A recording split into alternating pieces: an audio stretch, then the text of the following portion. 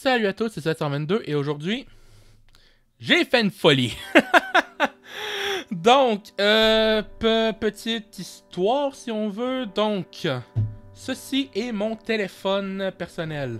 Donc, c'est un euh, Google Pixel 6a. Donc, c'est un téléphone qui a maintenant deux ans environ, peut-être. Un téléphone entrée de gamme euh, de Google. J'ai jamais vraiment eu de problème avec. Il fonctionne euh, très bien. Euh, mais il y a une catégorie de téléphone sur laquelle j'ai toujours été vraiment curieux, si on veut, c'est les téléphones pliants ou pliables. Je ne sais pas vraiment comment est-ce qu'on peut appeler ça. Donc, c'est les téléphones dans le style du Motorola Razr. Euh, qui est sorti il y a, peut-être 2-3 ans maintenant. Euh, les Galaxy Fold, qui est comme une grosse tablette qu'on peut replier pour qu'elle transforme en téléphone. Et euh, ce qu'on va parler aujourd'hui, le Samsung Galaxy Flip, ou le Z Flip, pardon. On va mettre quelque chose au clair d'entrée de jeu. Un écran qui plie, c'est une idée stupide, parce que c'est juste pas assez... c'est pas solide. L'écran peut pas être fait en verre, il a pas le choix d'être fait en plastique. Euh, le, protecteur. Samsung a un petit peu contourné ça, mais pas tant que ça. On va, euh, on va voir. J'ai pas encore ouvert, comme vous pouvez voir. Euh, donc, j'ai jamais vu en tester. En plus de ça, on rajoute une charnière, c'est-à-dire qu'il y a de la poussière qui peut se ramasser là-dedans, puis ça peut briser l'écran. Puis c'est des téléphones qui sont vraiment très chers, malheureusement. Donc, c'est pas une bonne idée. Mais c'est une idée qui est cool. Puis comme vous avez peut-être voir sur ma chaîne, j'aime les choses qui sont stupides mais cool. Donc, c'était sûr qu'à un moment, j'allais t'intéresser à en tester un. Donc, euh, celui que j'ai pris aujourd'hui, c'était juste celui qui rentrait dans, mon budget. Euh, donc, c'est un Samsung Galaxy Z Flip 4. Donc, le 6 qui est sorti il n'y a pas longtemps. Et le 5 était sorti, je crois, en fin d'année dernière. Donc, celui-là, je crois que c'est un modèle de début 2003. Donc, c'était un téléphone euh, assez haut de gamme de l'époque, c'est-à-dire c'était environ la même gamme que les, que les Galaxy S. Donc c'est un téléphone, même si c'est un téléphone de 2003, il est quand même relativement, encore aujourd'hui, ça va être un téléphone qui devrait être assez puissant. Donc on va juste l'ouvrir ensemble. Euh, contrairement au téléphone d'Amazon, euh, mon but c'est vraiment de l'utiliser comme mon téléphone personnel. Je veux que ça remplace mon Galaxy 6. Donc, on va voir qu'est-ce que ça va donner. Euh, je vois qu'il avait déjà commencé à ouvrir ici. Donc, je, suis vraiment excité quand même de voir à quoi ça ressemble.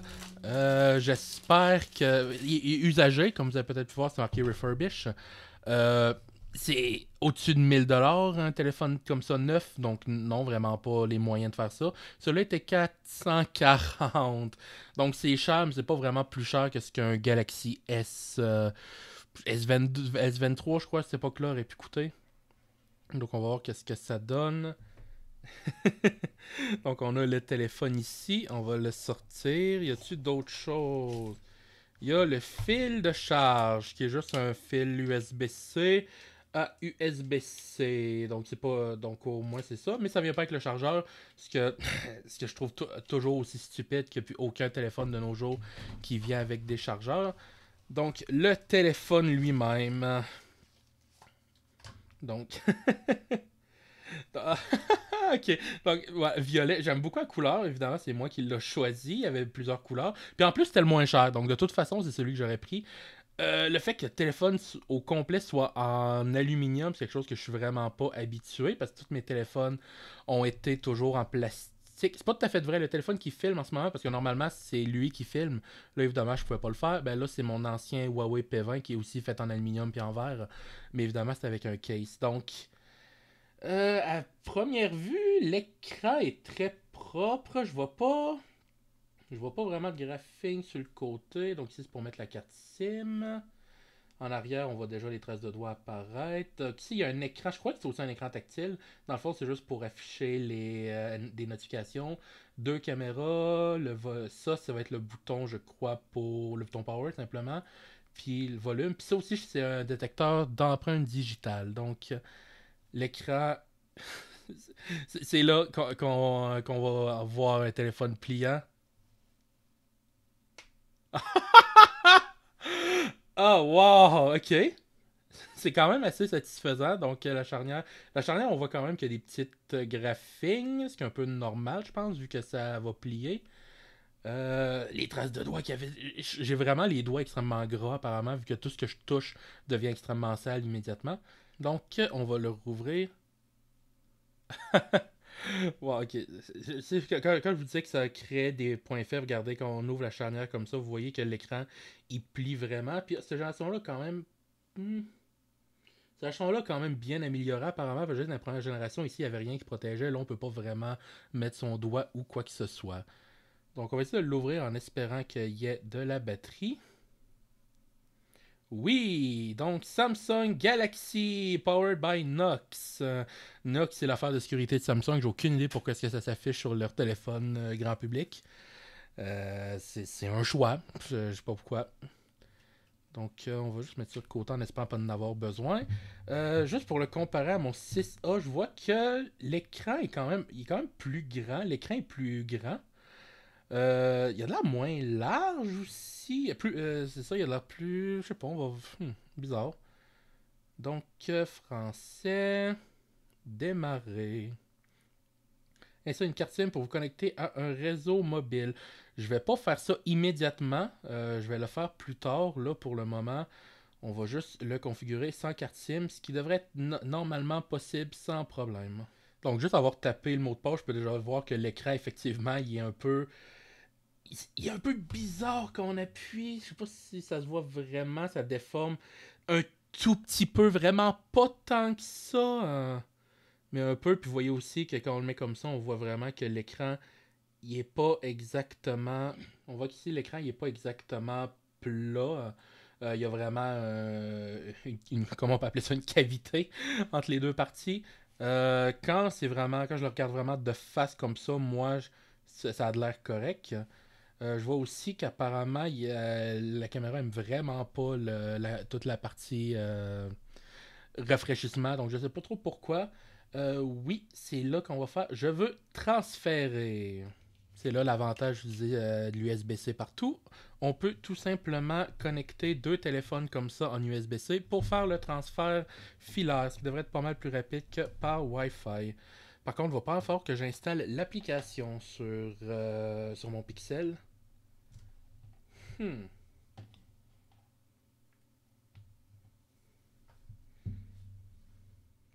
Je viens de voir que je sais pas c'était où, mais il y a un outil de carte SIM qui est tombé quelque part. Donc, tant mieux. Je n'avais probablement pas. Voilà, comme je pensais, fallait ouvrir l'application Smart Switch de, de, Samsung. Fait que, voilà, autorisé, oui. Connecté à l'appareil, puis là, ça va le faire.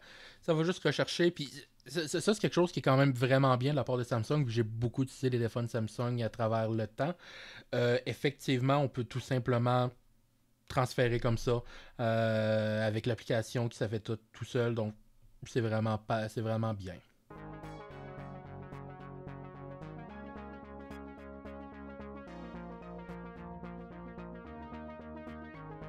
Donc, nous sommes un moment plus tard, euh, tout a été transféré sur le, sur le nouveau téléphone, tous mes comptes, toutes mes applications. Ça s'est bien passé. Ça a été un petit peu long de voir tout reconfigurer, mais c'est un peu normal. Donc euh, voilà, le téléphone fermé.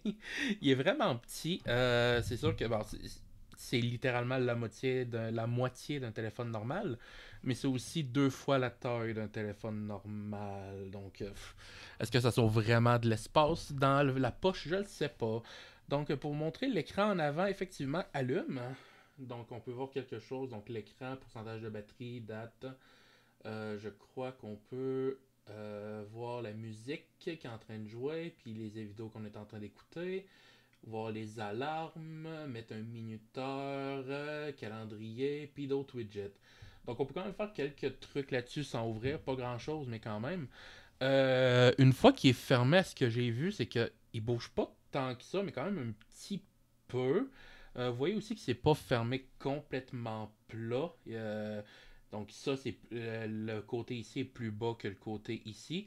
c'est probablement mieux pour la durée de vie de l'écran, mais c'est quand même bon de le spécifier. Donc si on l'ouvre, voilà, donc le, ici, le détecteur empreinte digitale, c'est vraiment. Ça marche tellement mieux qu'un détecteur d'empreinte en dessous de l'écran comme on peut avoir ici, où c'est juste lent. Euh, puis ça marche pas tout le temps, il faut, faut vraiment se remettre le doigt 3-4 fois. Ça, c'est vraiment le genre d'affaire que j'aimais beaucoup mieux sur mon Huawei P20, puis c'est de retour là-dessus, donc c'est vraiment tant mieux. Donc, comme vous pouvez voir, je vais vraiment pu installer toutes mes applications. ils sont installés tout seuls. Donc, une, des choses que j'ai vues, c'est vraiment que l'écran est un écran 120 Hz, qui est. C'est mon premier téléphone que j'utilise qui a un écran plus que, plus que 60 Hz. C'est extrêmement fluide. C'est sûr que vous n'allez pas le voir parce que en ce moment, je filme en 30 FPS, mais c'est immensément plus. Euh, immensément plus fluide que sur ce téléphone-là. Même à 30 fps, je crois que ça se voit un peu. Hein. Euh, vous voyez que ça, a l'air de sauter plus ici. Euh, donc c'est vraiment bien. Euh, donc j'ai essayé quelques j'ai quelques affaires pour voir qu'est-ce que ça faisait parce qu'on peut juste aussi le, le, mettre genre à moitié comme ça, donc l'ouvrir sur plusieurs angles. Puis j'essaie dans différentes applications qu'est-ce que ça faisait. Donc, si on va par exemple sur YouTube, donc on est sur YouTube et on regarde une vidéo, vous voyez que quand on est comme ça, c'est juste l'application normale YouTube, donc avec les, euh, les, commentaires qui s'affichent en bas, puis l'écran qui est en tout petit ici. Mais si on l'ouvre, vous voyez qu'on peut, mettons, le laisser comme ça, tu sais, sur une table pour écouter une vidéo, puis ça change en bas pour euh, quelque chose qui monte un petit peu plus les, un petit peu plus des boutons de contrôle tout simplement. Euh, on va pas, je vais pas parler pendant, je vais pas parler par-dessus moi-même. Donc vous voyez que la vidéo est juste au-dessus, puis il y a les contrôles en bas. Donc ça fonctionne bien. Euh, évidemment, si on le met comme ça, là, ça ne ça, change plus rien. Ça fait juste le mettre normalement. Puis apparemment, je suis en train de recevoir des notifications. Je vous l'ai dit, j'ai tout transféré. Donc en ce moment, tous les messages que je reçois, ils font juste être transférés. Donc. Euh, donc, le mode silencieux est activé. Euh, vous avez peut-être aussi pu voir que le son d'haut-parleur est bien correct. Sincèrement, il est vraiment pas pire que mon 6A. Il est peut-être même un peu mieux. Il a l'air un petit peu plus fort avec un petit peu moins de distorsion.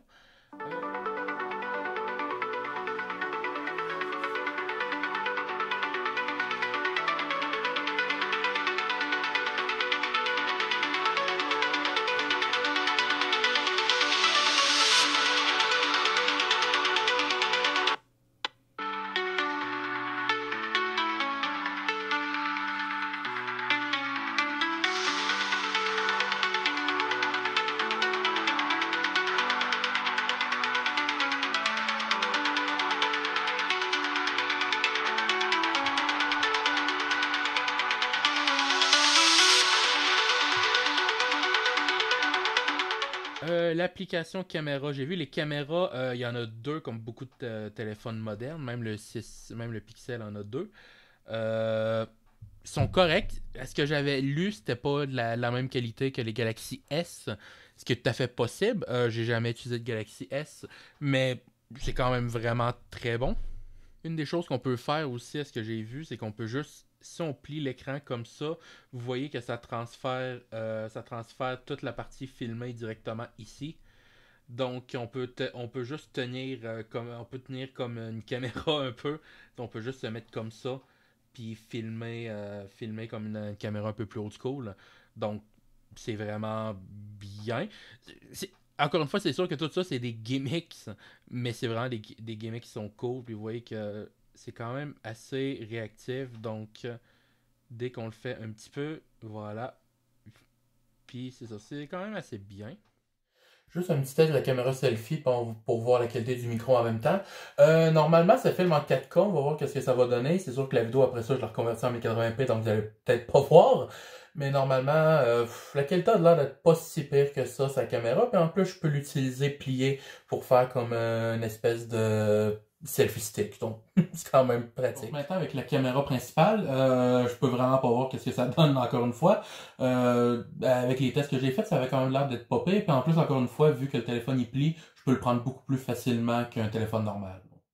Euh, l'écran, la qualité est vraiment très bonne. Mais bon, ça, c'est Samsung, c'est normal que ça soit bon. comme j'avais dit, c'est quand même un peu bizarre. L'écran est. C'est pas un écran, un écran en plastique bas de gamme comme des vieux téléphones Android pouvaient avoir ou une Nintendo DS, ce genre d'affaires-là. C'est quand même smooth, mais on, sent qu'il y a quelque chose qui est pas normal dans la texture. C'est clairement pas un, euh, écran euh, fait en vitre euh, comme sur lui. C'est comme lui, je peux le frapper de même, j'ai pas peur, lui, je vais pas le faire. Déjà, on peut même ça, je peux entendre que le, son que ça fait est pas le même. Puis je veux comme vraiment pas. On peut forcer un peu à ce que je vois. sais ça n'a pas l'air de, créer de problème de, de formation dans l'écran, mais je pense pas que c'est une bonne idée de faire ça pareil.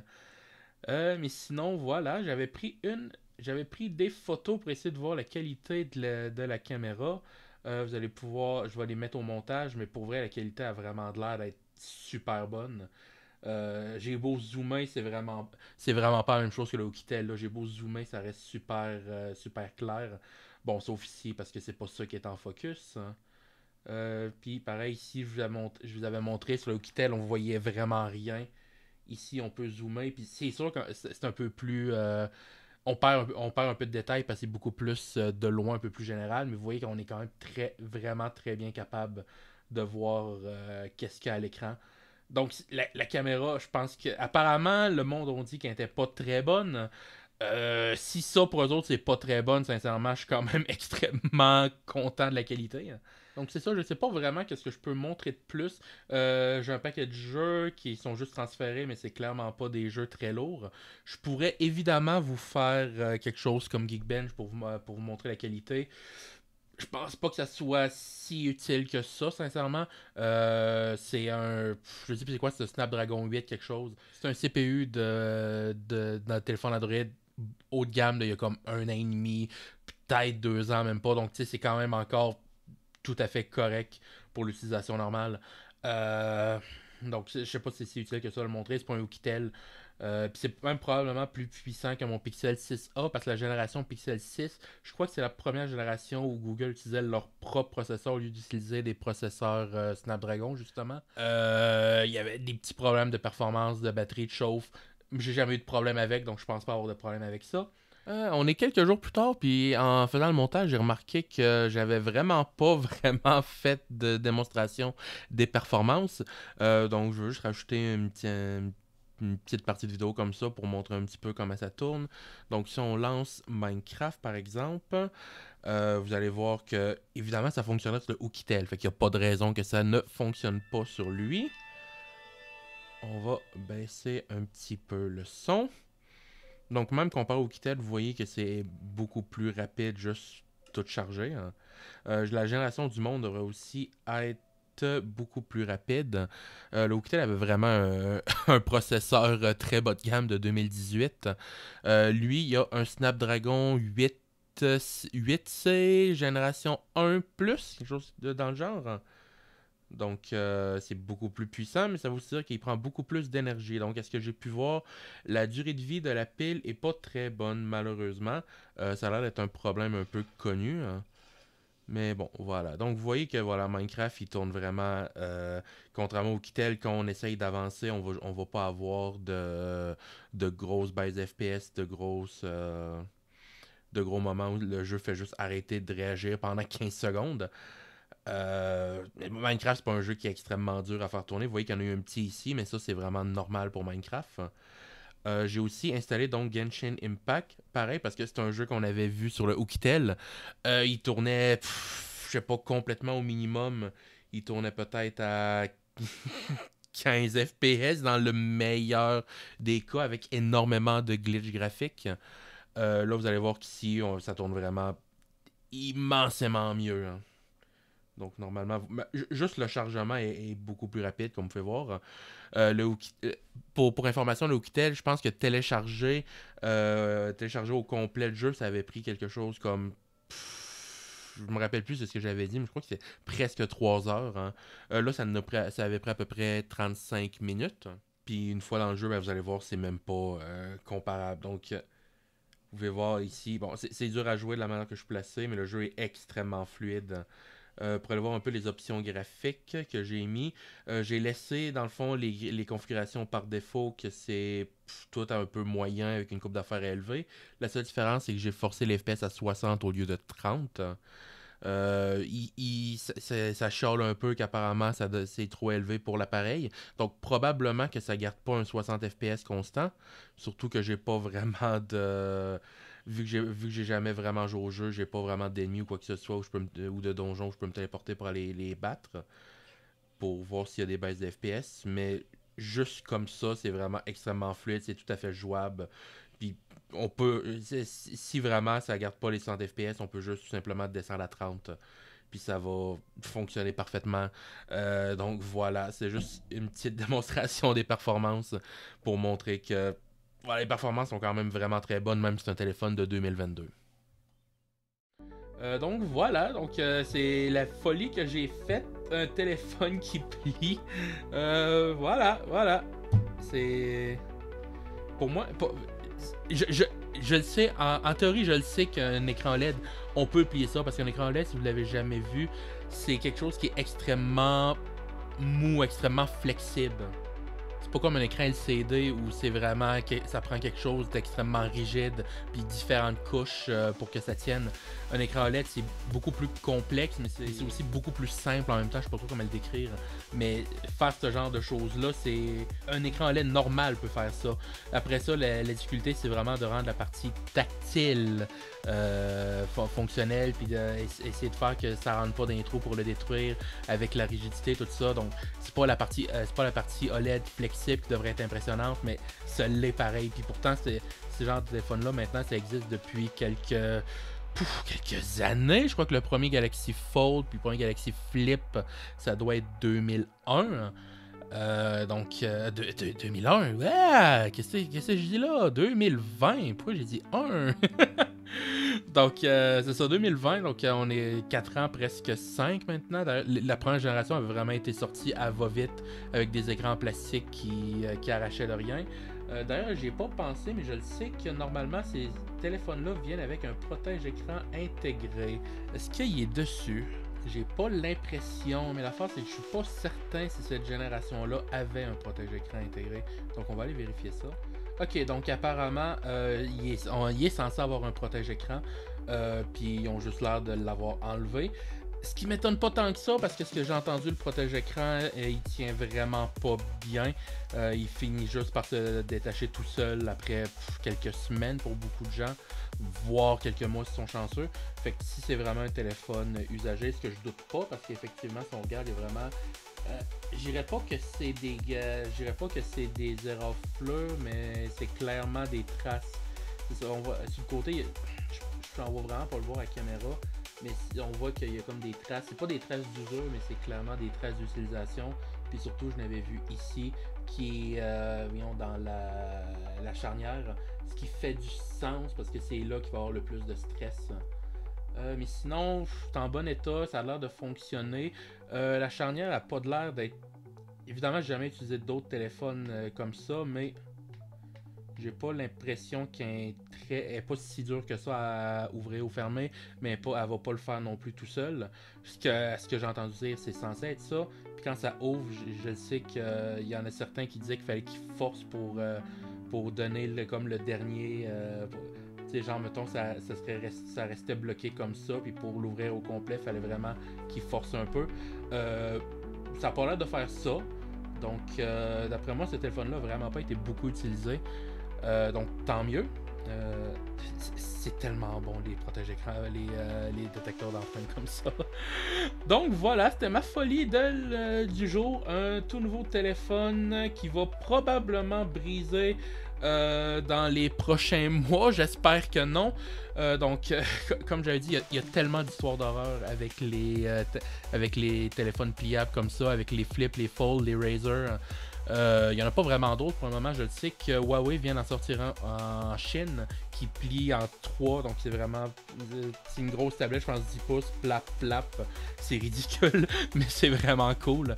c'est vraiment une tablette 10 pouces qui rentre la poche on ne sait pas encore la fragilité de cet écran là mais c'est sûr que ça malheureusement mettons si vous avez un pas, un grain de sable peut-être pas mais si mettons vous avez euh, n'importe quoi une poussière un peu grosse qui est bloquée mettons ici puis que vous le fermez ben ça peut tuer l'écran si, euh, vous dans votre poche est vraiment, vraiment sale, il y a du sable, quelque chose de genre, puis, que ça peut rentrer dans le minuscule trou de la charnière. Maintenant, ce minuscule trou, dans les premières versions, c'était très gros, on pouvait quasiment passer le doigt. puis vous le fermez, ça peut faire crack, puis euh, briser l'écran. Euh, c'est extrêmement dangereux d'utiliser un téléphone pliable. Je vous le recommanderais probablement pas, mais j'étais beaucoup trop curieux d'essayer, puis voir si vraiment j'aime ça. Donc, euh, ah, je vais, ça va devenir mon téléphone, euh, mon téléphone ben, personnel. Fait qu'on va voir dans les prochaines semaines, moi si j'aime ça. Donc euh, j'espère que vous avez apprécié moi qui monte mon nouveau jouet un peu. Et on se dit à la semaine prochaine. Au revoir.